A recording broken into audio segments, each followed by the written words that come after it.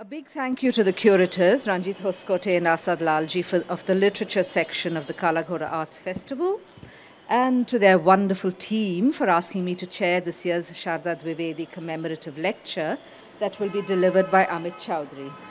It's an honor. The very fact that the Kala Festival of Arts exists the very fact that the Kala Ghoda Arts District even exists is a tribute to the activism of Sharada Dwivedi. As so many of you who knew her or knew her through her writing and her work will recognize, she was one of those extraordinarily committed individuals whose investment in Bombay was based in a love and appreciation of the city, but also in a sense of citizenship that manifested itself in, uh, may one say, a hope that one could halt or at the very least control the path of madness and chaos and transition that our urban spaces are victims of. Many of us bemoan the falling away of familiar, beautiful facades, but for us it often remains a private loss. I shouldn't deviate into personal anecdote, but I can't help it. I was brought up in Bangalore, where a segment of Tipu Sultan's beautiful circular fort a place of beauty and mystery on the road to Devanahalli, was cleaved open overnight to make room for the new highway to the airport. It was such a violation. I mean, I live part of the time in Bombay where I desperately try to capture the extraordinary and compelling richness of Princess Street, for example, on my plebeian mobile phone, as the street starts to fall before my eyes. I try to comprehend as Ranjit Hoskote phrased so well in his beautiful tribute to Sharada Dwivedi in the Economic and Political Weekly, the mountain range, I open quotes, the mountain range of science fictional towers in a topography otherwise covered by low rise housing and vast shanty towns. And yes, these travesties, these losses come out in my writing, in my art, but have yet remained more or less private traumas. But Sharada Dwivedi constantly fought to open the eyes of the city, its citizens, its administrative and governing bodies to the extent possible, to the history and the value of what surrounds them or what surrounded them. What I particularly appreciate about her way of working, coming from multiple fields of scholarship myself, or rather multiple fields of practice, is the deep and meticulous understanding she brought to her work. An understanding, however, that was based not on the viewpoint necessarily of the academic, which, if one were to be hypercritical, one might say is detached, steeped in insular scholarship and discipline. But she brought to the board the rather more eclectic, broader view based in observations, scholarship, no doubt, in meticulous research, but also in multiplicity. It's really fitting, therefore, that this tribute lecture to someone who was not siloed by discipline is being given by Amit Chaudhuri.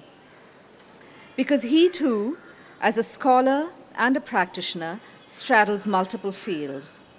As a writer, he's known not only for his fiction, he's the author of six, is that right? Six novels, but also for his non fiction book about Calcutta, where he also examines the city and talks about some of Calcutta's disappearing facades. So he's known for his book about Calcutta, his collection of essays, his criticism as an editor of an anthology of Indian writing. But in addition to his writing, Amit Chaudhuri is also a musician, trained in Hindustani classical music. He performs both as a classical singer and in a form that belies definition, one that straddles jazz, Hindustani, and song, by which I mean what we now associate with singer songwriters, songs rich in melody and meaningful lyric. I love the name of your project, by the way. This is not fusion. I'm very curious about what Amit will say today. His lecture is on deprofessionalization, a fascinating term professionalize. While the Oxford has a rather pragmatic definition for the word, referring simply to training and to the improvement of quality, The Webster defines it as the social process whereby people come to engage in an activity for pay or as a means of livelihood. From what I understand, Amit will examine the boundaries of what that process means for creative practitioners.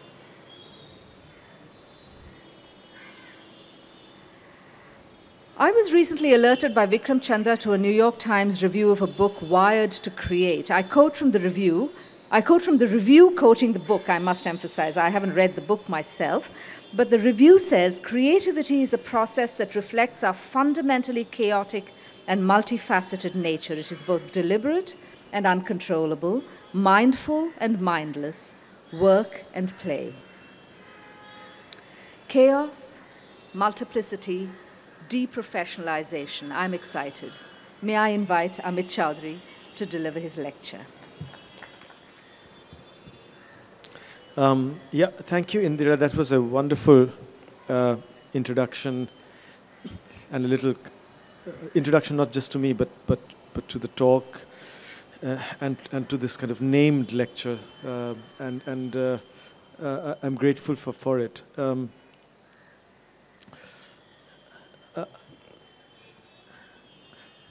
deprofessionalization. I mean, let me try and give you a, a quick context. Um, so I, I, I'm, I'm, I'm here delivering a talk which I have before, once before, at a symposium I myself organized on deprofessionalization uh, in, uh, in January.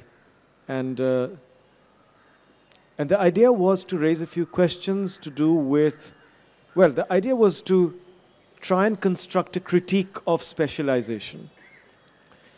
Um, why would one want to construct a critique of specialization unless one felt uh, somehow that uh, one was hemmed in by the notion of specialization in terms of identity or genre, or of doing one thing, of being one thing?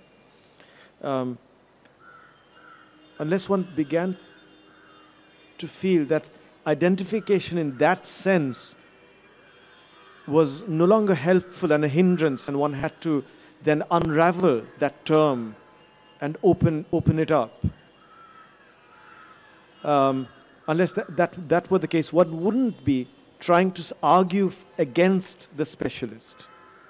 So what, what one is trying to do is argue against the specialist and also look at the way in which the idea of speci specialization goes, or professionalization, goes very deep also into, not only into various things, but into the creative arts. Why, why do we not feel comfortable when, when, for instance, to speak of myself, uh, if I were to say I'm a singer, why does that make people uncomfortable if they know of me as a writer? Um, I, I, think of a, um, I think of Joni Mitchell, who is, who is this uh, astonishing Canadian singer-songwriter who, who evolved in the most interesting way uh, from the 60s to the present day. In the 90s, she seemed to have almost gone, gone underground, as seemed to have the, the, the kind of folk music tradition which she was part of when she first became well known. But in the 90s, she was also doing some of her most interesting work, evolving very independently in, in independent directions uh, as, as a singer, as, as a songwriter, as a composer. And uh, I remember one song uh, she composed at the time, which was a response, she said, to um, the riots in, in California, um, the race riots in California, is a song called Sex Kills, which is really a, a comment on what capitalism was doing to the world. Sex sells everything and sex kills is the refrain of, of, the, of the song. Almost the first kind of uh, performance she gives us of that song is in a, in a Toronto bar. She prefaces it with the background to the song as to how she began to think uh, of, mm, of what the song would be ab about and she talks about the time of the race riots in California, the tension in the air. And then she talks about being stuck in a traffic jam in Los Angeles and, uh, and looking at the personalized number plate of the car in front of her. And she said, uh, many of these people in Los Angeles drive cars with pers- weird personalized number plates, and this one said, Just Ice. So her song begins with a reference to this number plates, Just Ice or Justice. So she says, while then, uh, you know, she got excited about the idea of justice, having been estranged from it by the number plate, which broke it up into just ice. So she read up on it, she said. She read up on it, and, and one of the people she read was Plato. She went back to Plato Republic, and then she says something interesting. Well, Plato's idea of an ideal society and a just society would have had me, the likes of me, says Mitchell, feeling pinched. Because, you know, Mitchell is not only a, a musician who creates in various different directions, but she's also a painter. She, she says that for Plato, you, have to, you, you would have to do one thing and do that well. But that would leave me pinched because I do many things. So what would I, what would the likes of me do in Plato's just, just society? Uh, Plato's just society would not be just to me, says Joni Mitchell. That was one of the first moments when I thought it would be nice to have a symposium on deprofessionalization. It would be great to even have Joni Mitchell come over. Joni Mitchell, of course, fell very ill. I hope she's better. Um, but it's characteristic of her idiosyncratic intelligence that she should have uncovered Plato as a source of that discomfort. So, this is where this, uh, this talk is coming from. I've just given you a background to the talk. I'm also not going to apologize for the fact that it, it, it's, a, it's a talk which thinks about literature today, because it is, a, it is the literature section of this festival. So I think we're allowed to talk about literature and to think about it. So uh, don't get nervous as I, as I think aloud. Um, I'm, I'm ready to address uh, your, your, your questions later on. I first heard the word deprofessionalized from Ashish Nandy about a decade ago. In the course of conversation, he said amiably, Gustavo Esteva calls me a deprofessionalized intellectual. With quiet satisfaction and perhaps gratitude, he added that he couldn't have maintained his singular status without the support of the Center for Studies in Developing Societies, the institution at which he was a fellow. I immediately took to the word and to the idea. The negative prefix D, as in demobbed, suggests a certain lack of volition, as one doesn't choose to be, but one is demobbed in relation to occupying this category, while hinting at a quality of belatedness, of following an epochal shift. Soldiers are demobbed after a war. These echoes made the state of deprofessionalization attractive in a counterintuitive way. That Nandy should have found an institution to pay him for undertaking this job of this project of calculated unemployment and unemployability was fortunate and appropriate. This is not a talk about Nandy.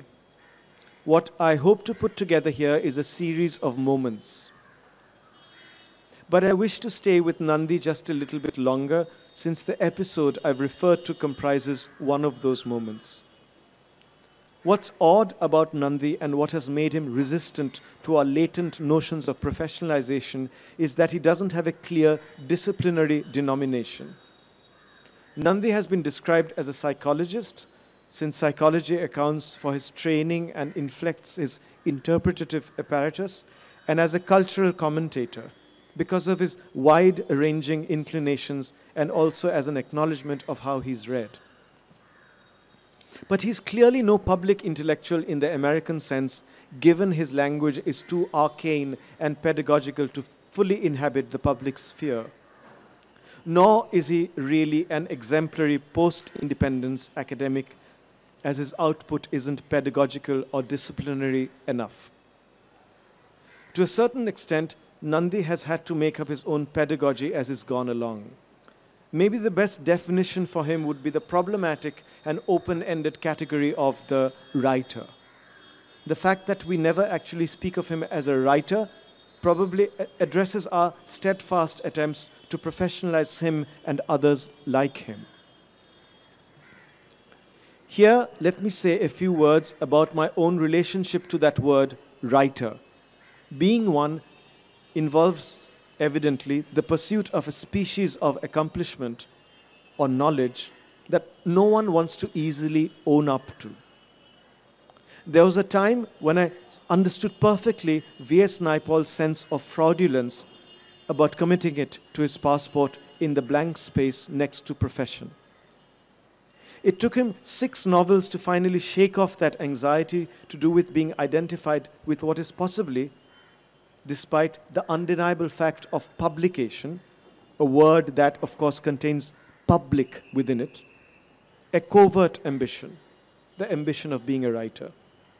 Today, I still find myself unsure about using the term of myself.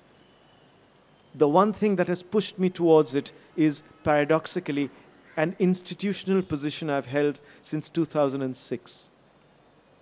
This position comprises a title that is itself a generic description Professor of Contemporary Literature at the University of East Anglia. Apparently, to be a professor means, first of all, to profess who you are. Only on the basis of this disclosure can you then profess to others. If anything, the invocation of the word professor in order to describe myself creates a sense of unease in me that exceeds the sleight of hand I still feel I'm involved in when I call myself a writer. This is partly because I never entered academia as a student for any other reason but to further my project of becoming a published novelist.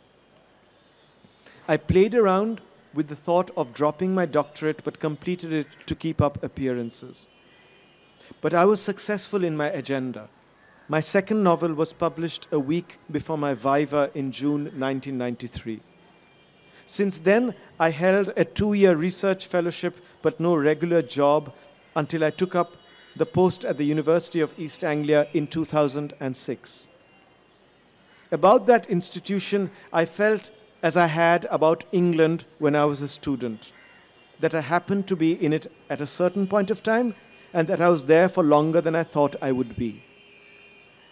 I always expected and expect to go back one day where I came from. One thing I've noticed about myself in this period is that I've made it a point semi consciously to hold on to my personal email address and to use the institutional email address sparingly. The latter is an area of domicile. I inhabit it in name only. My personal email address, on the other hand, isn't home, it is an anywhere. It has no actual identity. That I often use it for institutional work isn't inconsistent with this fact. It's in this period, especially in the last six years, when I've increasingly been trying to escape being called an academic that I find myself admitting with far less prevarication than before to being a writer. The period I've mentioned between 1993 and 2006, the time when I was more or less unemployed, engaged in the experiment of being a full time writer, was remarkable for the changes it either encompassed or consolidated in connection with professionalization. Developments in America in the sphere of what might loosely be called the literary were, were at once self perpetuating and polarizing, bringing another dimension to the relationship between the worlds of creative writing and literary studies creative writing would become a self contained economy in the US. It's an economy that has been taxonomized more recently by the novelist Chad Harbach as simply MFA. MFA being the name of the degree which uh, creative writing students earn uh, when they do their masters, masters of fine arts. It comprises students of creating this, this world which Harbach calls MFA in America. It comprises students of creative writing who, upon attaining doctorates in creative writing, then become teachers of creative writing. In contrast, say, to an earlier lot of teachers who would be appointed to those posts on the basis of the novels they'd published. In fact, I mean, uh, I, I was reminded uh, uh, recently of that man Arindam uh, Chaudhuri, uh, and, and there's a chapter in Siddhartha Deb's book, The Beautiful and the Damned, which says that Arindam Deb's uh, IIPM, or whatever it's called, I can't remember, gives these kind of degrees which no one believes in to, to people who go to st study there. And what happens to those people? They then, they then go on to teach at IIPM. Uh, that, that is the kind of employment that they take up later on. Uh, what Harbach is saying is that something similar is happening, for better or for worse, it might be a good thing, in creative writing in America. In the world, he calls MFA. Um, now, MFA teachers publish novels too, but there's a growing number of such professors who, according to Harbach, are read and known only in the ecology of MFA. Harbach compares and contrasts MFA with what he calls NYC, New York City, NYC, or writers published and disseminated by mainstream New York publishing houses. What's also striking is how the self-sustaining specialized, I mean, NYC, they're going to New York and getting published, they're making a name there, used to be the earlier, the, the one route for, a, for the writer in America. So now there's, the, the, there's this other world you can live on, which is the MFA world. Um, so what's also striking is how the self-sustaining specialization of MFA finds an unmistakable echo in American literary studies, the way literature is taught and what's going on there in terms of the people who teach literature. On the one hand, MFA is, of course, the other of literary studies. That, it does things which literary studies doesn't do anymore. It pursues an ethic of craft, the sentence, the appropriate adjectives, and the placement of the comma, deriving its advocacy of the value of writing from, from Flaubert and from US editors such as Gordon Lish, who present a powerful parody of Flaubert. So the, this is what's going on in, uh, in, in, in uh, MFA. This Flaubertian mania about craft. Uh, craft is not recognized in literary studies in terms of what is a writer's craft. This is not a question. It comes up transiently when, when you're an undergraduate and it then goes. Um, literary studies eschew of literary value, that, that's at the heart of this. Let's, let's set aside that idea of whether a literary work is good or bad. This is no longer the concern of literary studies. Literary studies eschew of literary value is also an eschew of the seemingly fragile world enshrined in MFA, which is all about value, about whether a sentence is good or bad. On the other hand, though, despite these differences, it mirrors perfectly MFA the, the world of literary studies. How? The true subject of the scholarship and discussion within American literary studies since the 90s has neither been literature nor the critical theory that problematizes literature, but the works produced by scholars of literary studies. So all the works are self-referential. They're basically saying, well, so-and-so said that, and so-and-so being a colleague, but then, and so-and-so said that on the other hand, and the other person is also a colleague. So something very similar to what's going on in MFA is also happening in literary studies. It's a self-sustaining ecology where people are giving each other jobs by referring to each other all the time. This is the bulk of the work that they produce. The auto-nourishing ecological, ecological model that has, according to Harbach, characterized MFA is also one that almost entirely shapes American literary studies the animosity and distance between the two is very real.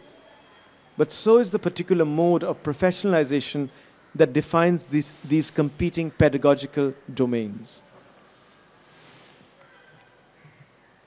For me, creative writing was a rumor till I taught literature. It was literature I taught to MFA students rather than creative writing for a few months at Columbia University at the end of 2002. There, I confronted it as a discipline for the first time. This is creative writing. But the kind of professionalization it represented was, to me, a distant threat or problem. That is, you know, I was not about to become swallowed up by MFA. Even the term writer, about which, as I've said, I had a Naipaulian hesitation, was less troublesome, less of an immediate concern to be grappled with than the word novelist. It had begun to speak for me. Yet both it and the genre it derived from, the novel, were uneasy constructs, and my fidelity to them was, by the end of the 90s, wavering. The novel, as much as the novelist, seemed to involve a set of guidelines that might be of no interest to those who are practicing or exploring that form or who inhabit that role. The word novelist, as a proprietary definition, underestimates the ambivalence practitioners sometimes feel towards their practice or the genre or form they're using. It is then salutary to be reminded by the writer Kirsty Gunn of Virginia Woolf's disavowal of these terms in a diary entry on Saturday, 27th June 1925, when she's composing one of her greatest pieces of writing. I'm quote from Virginia Woolf from her diary. I am making up to the lighthouse. The sea is to be heard all through it. I have an idea that I will invent a new name for my books to supplant novel.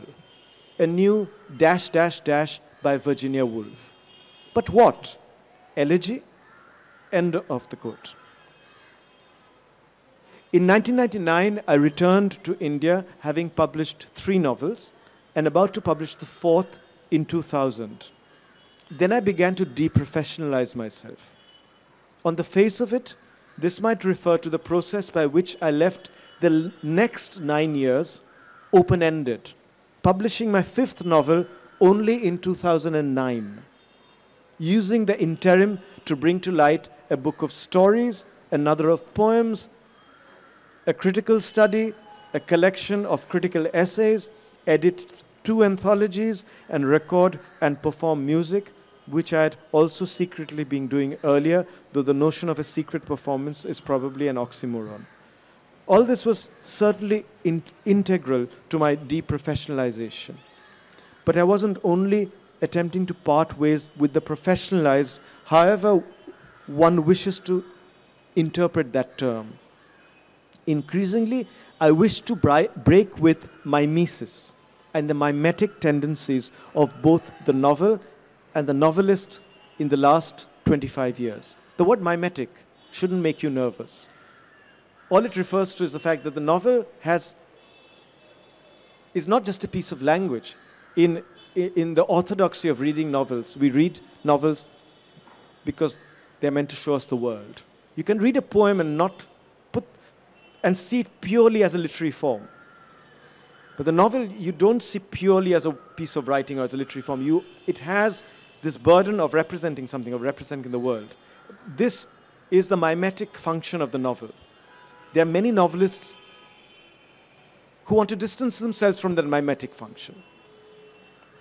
I'm talking about the, this urge on the part of the novelist to not only distance themselves from the mimetic function of the novel, but as I say, the mimetic function of the novelist. The novelist, as a term, also has a mimetic burden. So I'll, I'll just go over that um, and, and without in any way wishing to make you anxious.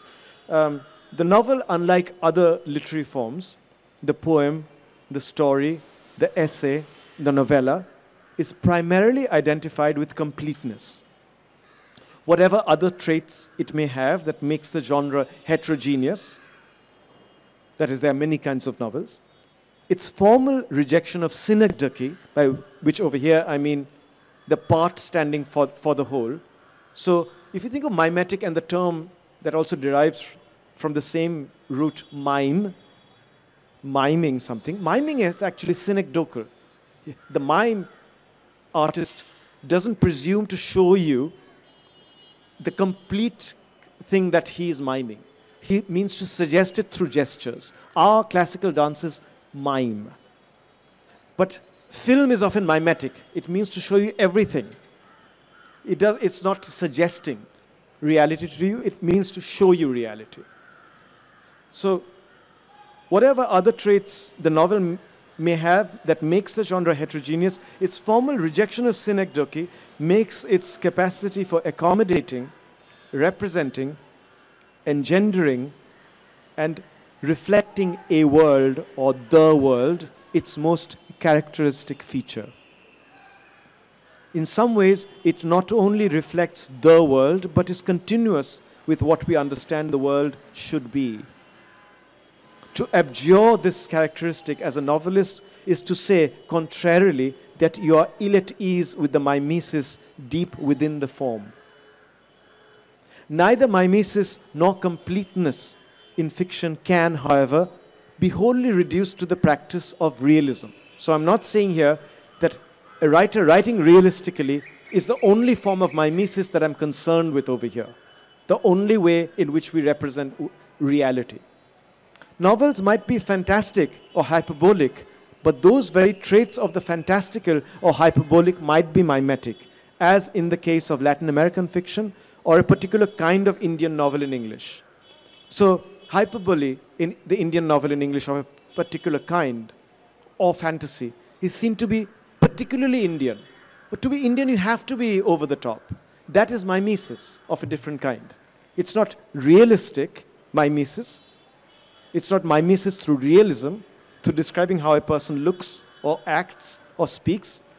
It's a different level of mimesis where we're still making a case for something in the novel approximating and capturing some other kind of reality outside, which in this case would be a cultural reality.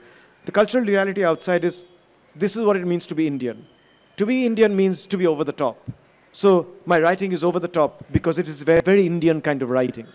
That's that there we are performing a mimetic function. Um, so think of Marquez's apparently provocative remark, Gabriel Garcia Marquez, that the bizarre transmogrifications of his fictional terrain are actually not bizarre at all, but a record of the reality of Latin America. And you begin to understand the particular modulation of the mimetic compulsion, the project of creating a narrative language adequate to representing a culture in the magic realist novel. Formal mimesis, whereby pastiche, allegory, or fairy tale come to somehow be related to how we represent the globalized or multicultural world was far more pervasive in the 90s than a mimesis to do simply with how characters speak or how settings are described. So the world is multicultural, the world is plural. Uh, uh it cannot be contained by enlightenment realism. Uh, so it has to be full of polyphony and fairy tales. This is formal mimesis. It is still making a gesture towards what the world might be like and trying to capture that world on, in a, through form. if the novel today is mimetic of how we understand the global, the cultural, the novelist too has as much a representative role to play as the genre of his or her choice. The novelist must be as complete in his or her identity as the novel is in its. The primary way of doing this is to produce novels, and to do so with regularity every two or three years. The market has reified this pattern of productivity. It dictates that the novelist abide by it in order to adhere to a fundamentally mimetic pr principle. You must produce a novel every few years, it suggests. How can you be a novelist if you stop writing novels? It's a chain. The novel gives us the world, the novelist gives us novels. This is the market's parody of romantic organicism. As naturally as leaves to a tree or not at all, Keats had said of how poetry should come to poets. And the market ensures that the novelist will need to write novels in the same way, periodically, that trees come into leaf or cows produce milk. Ian McEwan has, since the late 80s, been the exemplar of this mimetic function. To break away is to depart the parameters that govern the representational. So the, in, in McEwan's case, there is absolutely no doubt in our minds that he's a novelist. His work is mimetic, and he himself performs the mimetic role of producing a novel every two years, which looks like an Ian McEwan novel. and feels like it and reads like it. So he's performing a mimetic function. Let me here introduce briefly uh, two variations on this theme. In a literary ethos in which a reliable means of identifying who a novelist is is essential, and the recurrent production, I mean, that is essential. We have to know who a novelist is. There have to be markers there. Uh, and the recurrent production of novels, the most reliable mode of identification. The example of the author of the successful first novel is, paradoxically, central to how we now construct or conceive of this identity. In the shrunken time, the now of globalization, everything happens in, in the now, in globalization. The first novel is not a beginning, it's a culmination, a triumphant de declaration. For the market, the author of the successful first novel is forever a novelist, whether or not they ever write a novel again. The novels to come are, in a sense, irrelevant. The person has become a novelist. Here, the Naipaulian hesitation is incongruous and anachronistic, as are the niggles of fraudulence. The, so the idea of a writer like Naipaul thinking, I've written five novels, I still don't have the guts to call myself a writer or a novelist in public. Well, then he writes the sixth one, he thinks, hmm, maybe this is the moment, then I can put it down. That is anachronistic when, when the first novel itself, the successful first novel, is a culmination, and the rest of the novels are, in a sense, irrelevant. The, the whole uh, narrative of development and accumulation, uh, which is characteristic of history earlier, in the now of globalization, is, is anachronistic. Uh, the second variation, variation has to do with an actor I haven't mentioned so far, the reader the main question re regarding deprofessionalized time has to do, I suppose, with what one is doing with it. What, what, what does one do with deprofessionalized time? Time in which one is not being a professional. This is pertinent not only to the writer or to the matter of what writers do all day, but also to the person who's absorbed in reading. In the interview in which Kirsty Gunn makes that pointed reference to Woolf, interviewer and interviewee spend a short while discussing the inex inexplicable time we spend reading books. Reading literature is hard work, notes the interviewer. It entails learning how to read. I quote from him uh, People often see me and they'll say, What have you done all day? If I tell them I've been reading, they're often confused. End quote. Gunn response, Kirsty Gunn response, quote, there's a great Bill Hicks joke about that. Bill Hicks is an American uh, comic uh, from yesteryears. Um, a waitress comes over to him and says, what you reading for? The same could be said of the time spent listening to music. It no longer possesses that bewildering exclusivity living memory tells us that there was an age when we would buy a record and listen to it on a music system for about an hour. What were we doing in that duration, seated on a sofa and staring ahead of us? It's a very strange ritual. We used to put on the record and sit there. It, is, it was a form of deprofessionalized time. We were doing nothing in that time, we, or we don't know what we were doing in it. I'd like to bring in a more con conventional and sociological meaning of the word deprofessionalization at this point, to do with how globalization and the market, which create a function for the writer, a function defined by a rate and type of productivity, also creates contexts that take away the writer's metaphoric and literal functions.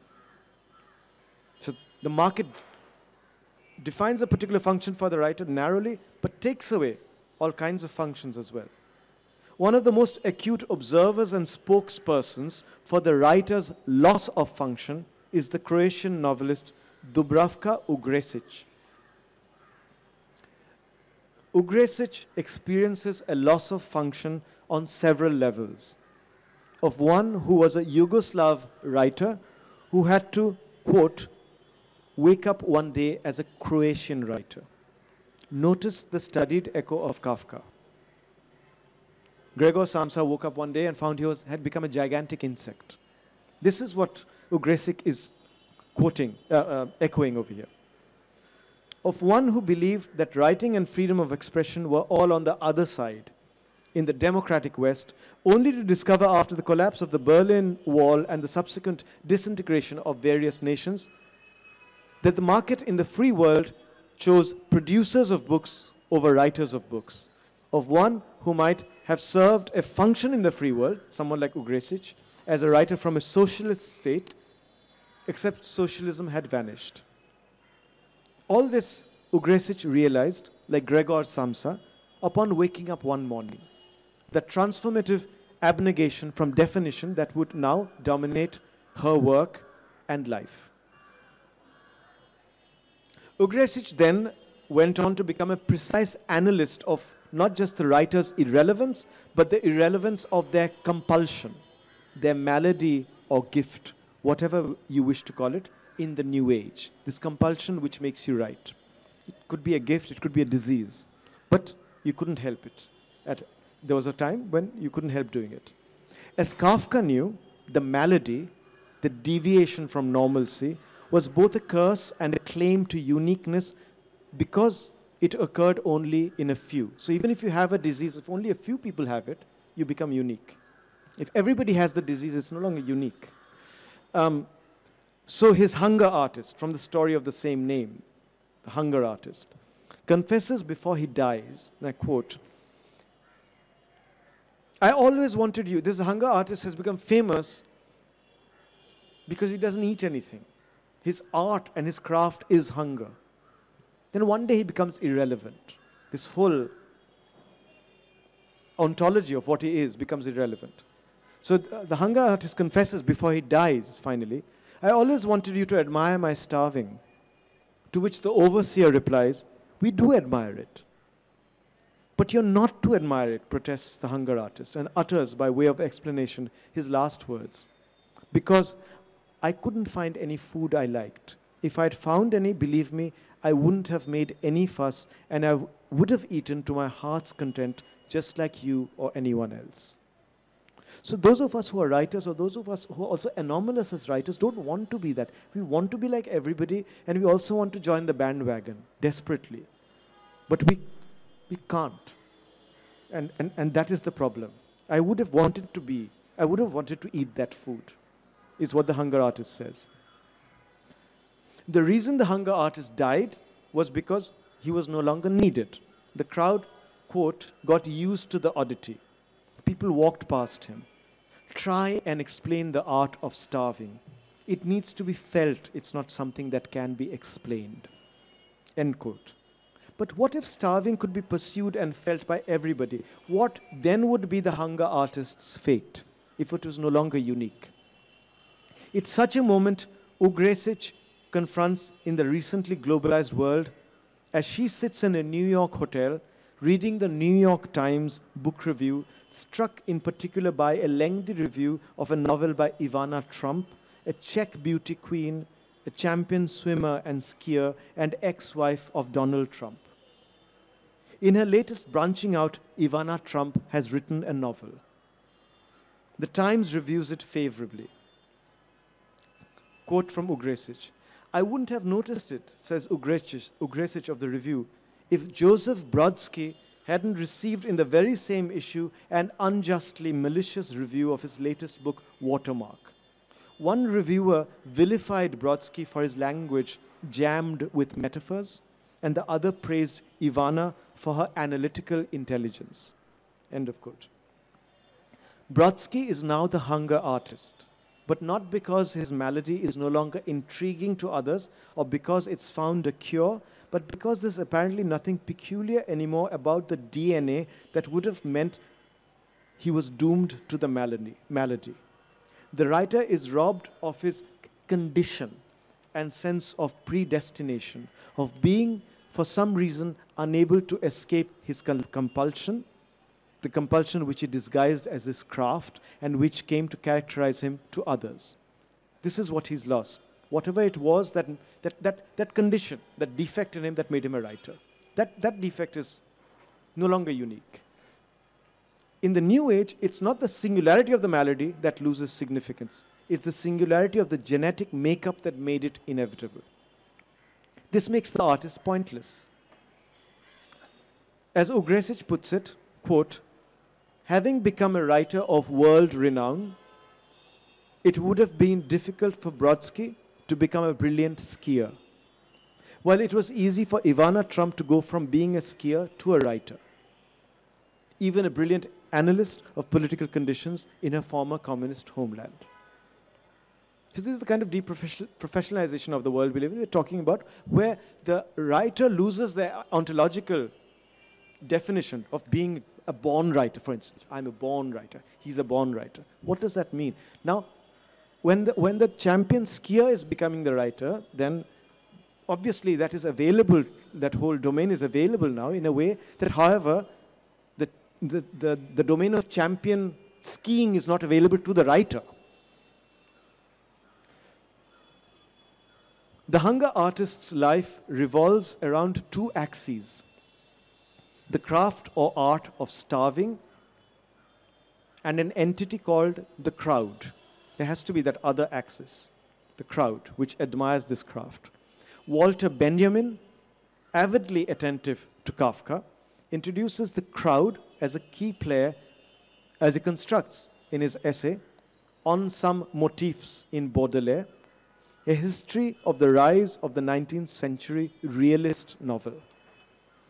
This ascendancy he connects not to the author's wish to reflect society. This is what we thought writers do, they wish to reflect society. But the societies or the crowd's new and unprecedented desire to see itself reflected in this burgeoning genre. And I quote from Walter Benjamin It became a customer, this is the crowd. It wished to find itself portrayed in the contemporary novel, as the patrons did in the paintings of the Middle Ages. Just as the paint, patron commissioned a portrait painter to paint themselves, now the crowd wanted to see itself portrayed in the novel. In, this is in the 19th century. So there's a rem remarkable process of democratization at work here, supplanting both an exclusive aristocratic clientele and the services of elite portrait painters, energizing through mass readership narrative portrayal. We live in the shadow of that moment in which the transition from the portrait painted in an opulent room to the public domain of widely disseminated fiction took place. The aftermath of the transition lasted for more than a century. But in the 1980s, another comparable transition occurred. From now on, the crowd no longer wanted to see itself in a work of art or in a novel. More and more, it wished to be, for a limited duration even, the artist or novelist. At the heart of this was the emergence of karaoke and a space for amateur, tuneless, and infectious music performances. Today, needless to add, we have the cell phone as the most significant facilitator of the second moment to do with the crowd. In the interim have been released the variegated performers of amateurism, deprofessionalization, and reprofessionalization rendering obsolete the old non-technological figure of the amateur. The fascinating everyday photographers and makers of short films on mobile phones, I greatly admire them. And YouTube on the one hand. On the other hand, the celebrity chefs and comedians whose memoirs and children's books and cookbooks are now the mainstay of reputed literary publishers. We must add, and I'm not, this is no exaggeration, it is extremely hilarious, but it is absolutely the absolute truth that the mainstream literary publishers are now totally dependent on celebrity chefs and celebrity cookbooks and celebrity memoirs. We must add to this an influential school of karaoke politics, whose very lack of professionalism is alluring in an era in which the professional pol politician is contemptible. Thus, the viability of the ragbag Aam Aadmi Party, which I like, and of the rebarbative Donald Trump.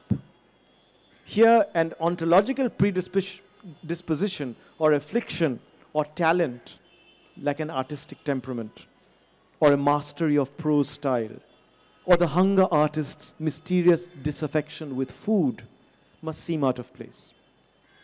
It's in this context that we must place Ugresic's parable on Joseph Brodsky and Ivana Trump. Let me refer in passing here also to the writer and critic, critic Marina Warner's testament to quitting her word, the university, Essex, where she'd had a position for some years, both as a professor and a writer, much as I do, at East Anglia. The thoughts she put on record in the London Review of Books after resigning are now well known. They trace the arc of how a writer who was trying to do something different within the department in increasingly found herself unable to proceed given the new, largely commercial criteria related to measuring the importance of academic activities of departments, such as impact, the word impact in, in the UK, which is used to measure not real impact, but commercial impact of scholarship. Leaving her with no choice but to quit and return to being a full time writer. The untold story proximate to this narrative, as I put it to Warner later, has surely to do with how, in Britain, much of the same sort of transformation has characterized publishing in the last two decades. To mimic Ugresic's tone, it was easy for a respected professor to give up her job and go back to being a well known writer. But what happens when the well known writer ceases to be publishable? I reproduce my words from an email to her.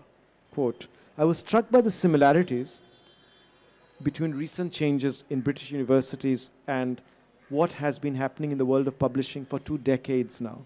The solemnity of terms like impact is foreshadowed by the often theological nobility attributed to commercial ambitions in the name of great writing. The matter is little spoken of, though. Editors are quitting all the time, but can't apparently go public about why they change or lose jobs because they have to stay in the industry in one incarnation or the other, as publisher or increasingly as agent. Meanwhile, writers, alas, can be dropped, but they can't quit. That's the end of the email.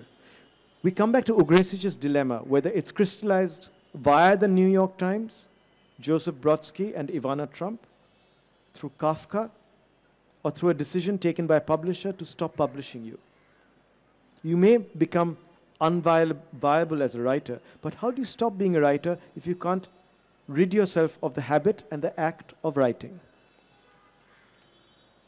I'll end with a brief coda on the words I referred to when I began. Gustavo Esteva's term for Ashis Nandy and apparently himself, deprofessionalized intellectual, and address the question they implicitly raise to do with legitimacy.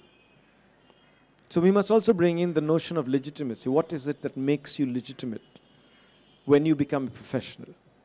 And this, this is of also of import or relevance in India and how we conceive of the, since the term intellectual has come up, that how we conceive of the academic or the intellectual or the writer, whoever. Legitimacy is especially pertinent to the intellectual's position in contemporary India.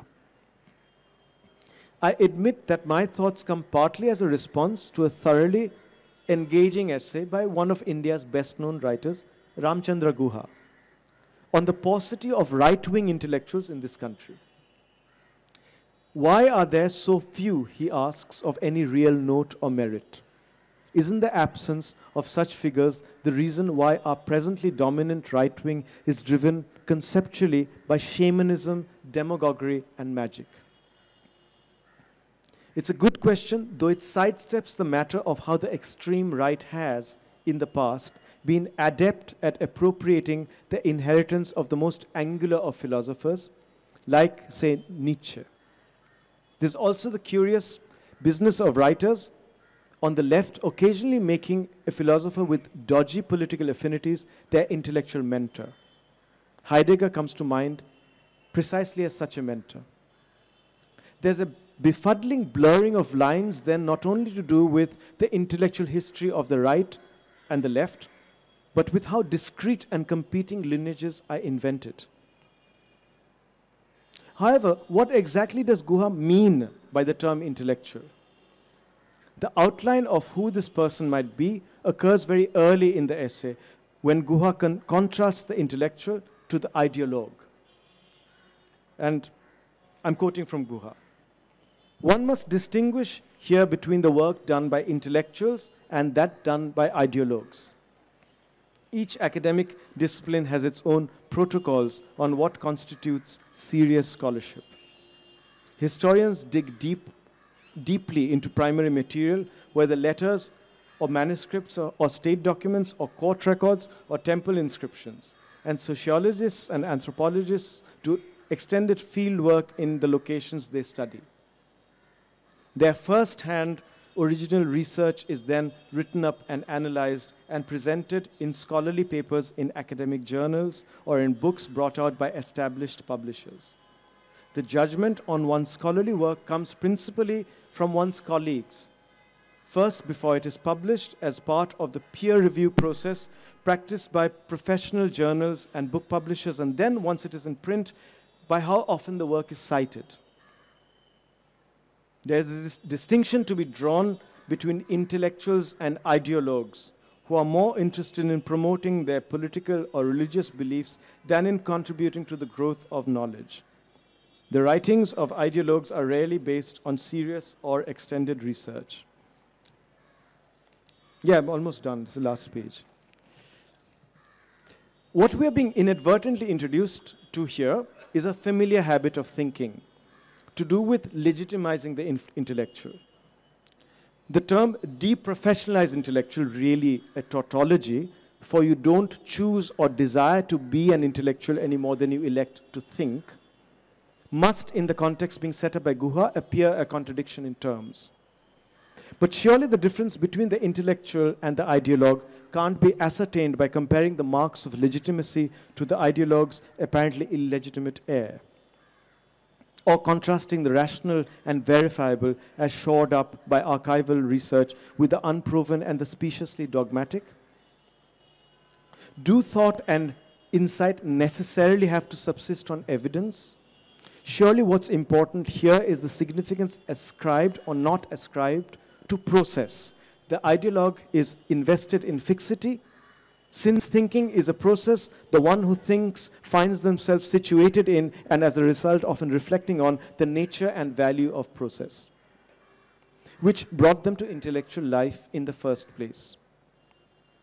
But if the one who thinks, the intellectual, is without much reflection conflated with an idea of the social scientist or the historian, only parts of whose practice are mentioned in as much as these legitimize the practice, primary material, first-hand original research, peer review, then we are confronted with a gesture that's overfamiliar to us in India, and which itself represents a kind of fixity.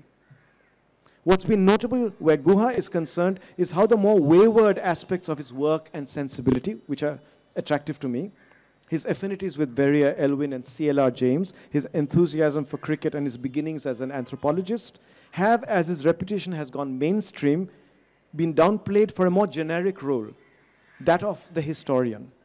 In fact, Guha, unusually for a historian, often prefaces his remarks with the words, speaking as a historian, as if to be one dependent on a Cartesian declaration.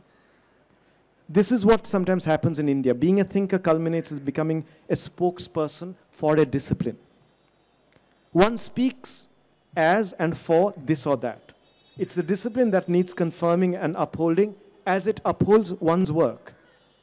What we end up op opposing the ideologue with is not thought, but legitimacy. This is what we are then saying to the ideologue. Not that you don't, you're not thinking right, but that you're not legitimate. Um, a word on research, and this is the absolute final uh, paragraph.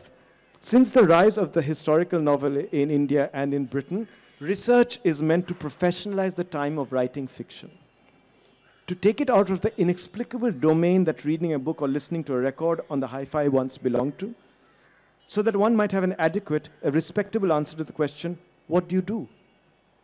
the questioner is going to be less anxious if, if the reply, I'm a novelist, automatically implies I engage in serious research. Of late, in India, where the notion of research is deeply embedded in our regard for the plausible, the verifiable, and the professionalized, I'm often told, you must do a lot of research when I admit to writing novels. To which I've begun to say, yes, but not for particular books. I'm doing research all the time.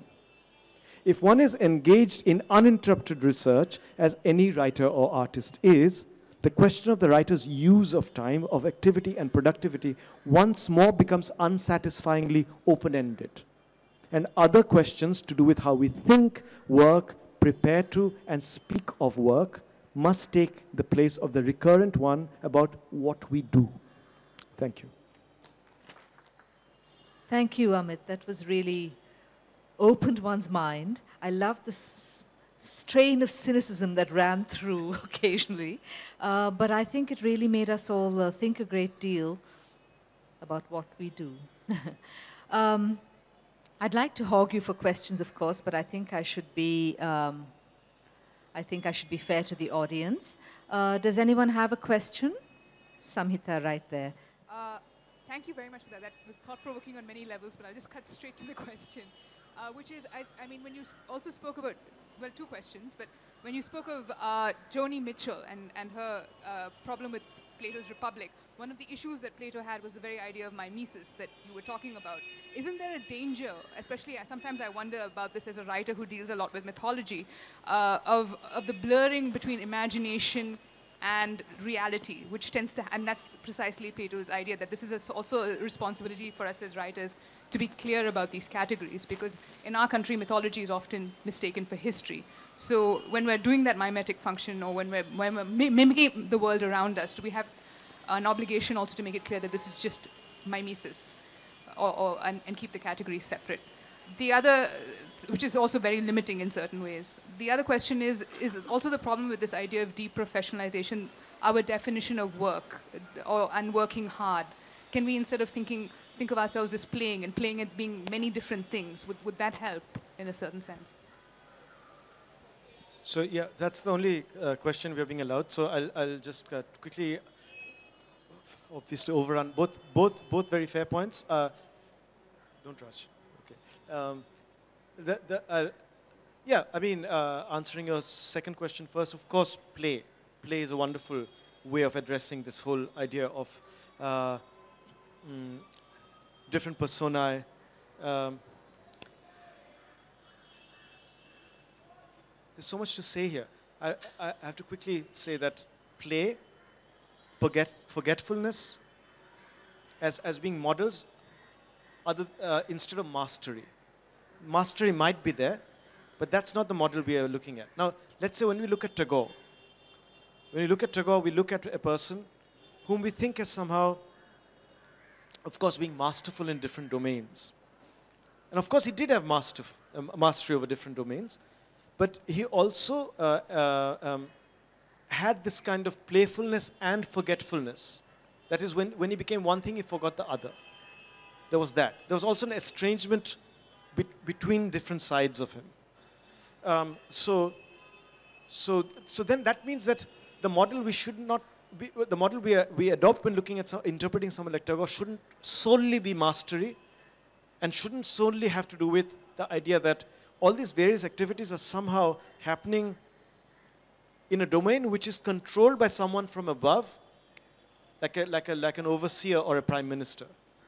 Or, or let's say like the, like the nation state uh, makes space for different activities, worldviews, religions, all of this being some, somehow, you know, uh, controlled by the constitution or by the law.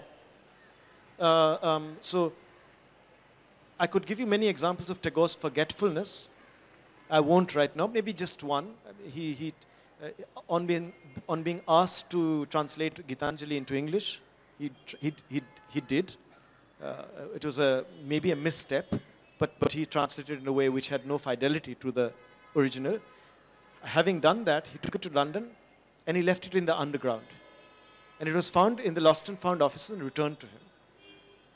So, so that, that is one uh, uh, uh, example of Tagore's forgetfulness. So the idea that this was a man in uh, complete control of everything he was doing, including the various selves, is, is not true.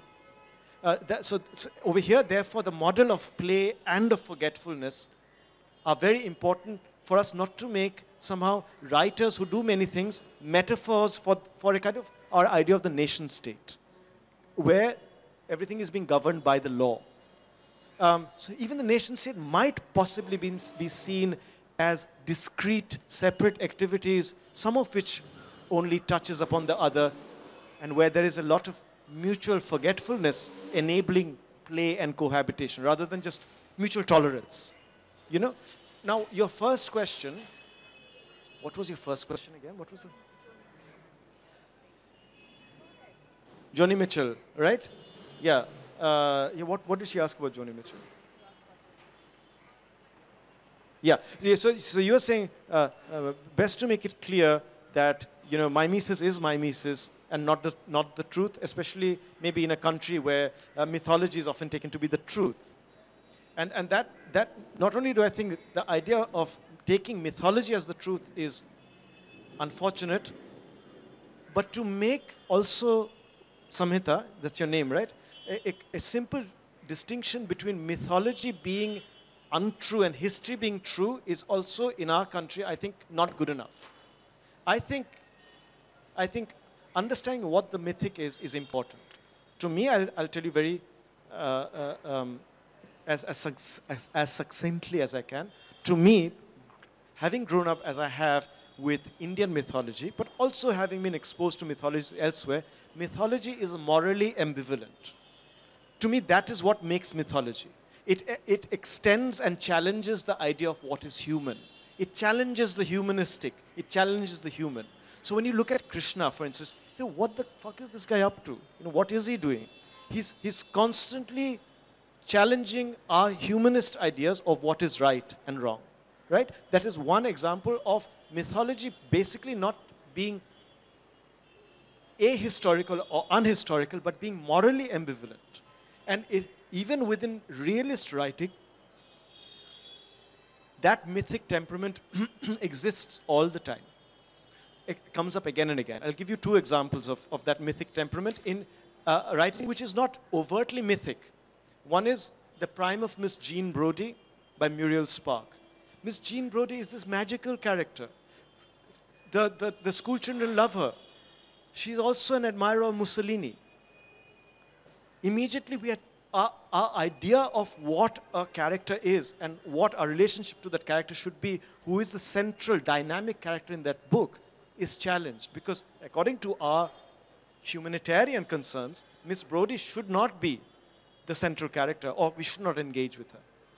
And the other example is I would give you from Sons and Lovers. Sons and Lovers has this beautiful portrayal of a semi-dominating but also a very productive relationship between a mother and a, and a son, Paul Morel and Mrs. Morel. But when Mrs. Morel is, is, is ill and suffering, Paul Morel and his sister conspire between themselves to gradually increase her doses of morphine so as to kill her. And as they begin to do this, they laugh, they giggle like children amongst themselves because they are managing to put her out of her misery. To confront that again is to confront the mythic. It is to go out of the, out of the humanist. So I'm, what I'm saying to confront Miss Jean Brodie, to confront this moment in, in uh, Sons and Lovers, to confront in the moment in Oporajito when Opu hears of his mother's death and for a second feels a sense of release they, they, all these are moments that we can only understand as myth, which are outside of the human, um, or, are, or our kind of understanding of what humans are and the ways in which they should behave with other human beings. So, uh, so what I'm saying is, what we must understand is that the mythic is not just fictional. It, it, it, it kind of symbolizes a different moral order, the order of moral ambivalence. I don't think either the historians or the people who want to propagate myth understand that. The people who are trying to propagate myth not just as history but as a special kind of truth don't understand how morally ambivalent and ambiguous myth is. Thank you. We don't have time for. Oh, I'm sorry. That was fascinating. Thank you so much. Really made me think, and I'm sure a lot of other people think. Um, was brilliant. Thank you.